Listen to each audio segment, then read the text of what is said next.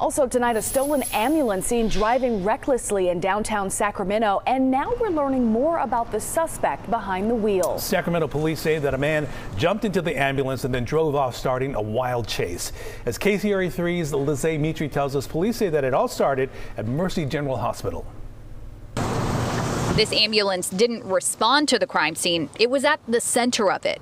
10 was stolen from Mercy it's now driving erratically. It was last seen southbound on Freeport with no lights. Sacramento police say 35-year-old Cecil Jackson stole the Sacramento Fire Department ambulance from Mercy General Hospital, hitting a parked car, then taking it for a dangerous drive through Sacramento around 11:30 last night. They were driving around downtown Sacramento with no headlights on, no sirens on, no red lights flashing Apparently, it hit several vehicles in downtown Sacramento. Ed Kelly lives downtown and was listening to the police scanner as it all unfolded. We heard the sirens here in, in the downtown area.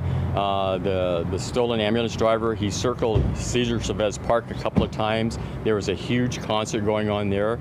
Uh, just, I mean, thousands of people were leaving at midnight. Police say the reckless driver hit a car downtown, causing a minor injury to the person inside. Hit run.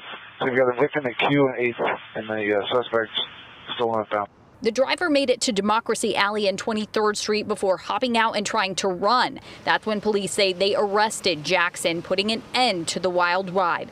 But today, neighbors here are left wondering how this all started. Somebody must have left the keys in the ambulance. The Sacramento Fire Department says that is still under review. Captain Keith Wade says when pulling up to a hospital emergency room, there are reasons they may leave keys in the ambulance. He says every second counts and the patient is their main focus. And they also might need to move those ambulances through the ER quickly to avoid any backups so that no one is delayed in getting the care they need. In Sacramento, Lysee Mitri, KCRA 3 News.